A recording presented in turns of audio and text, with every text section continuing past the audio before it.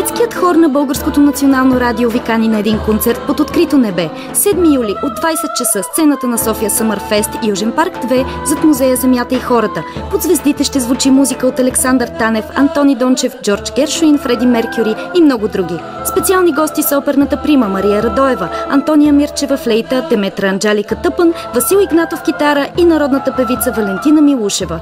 Билети в мрежата на Ивентим и на място в деня на концерта.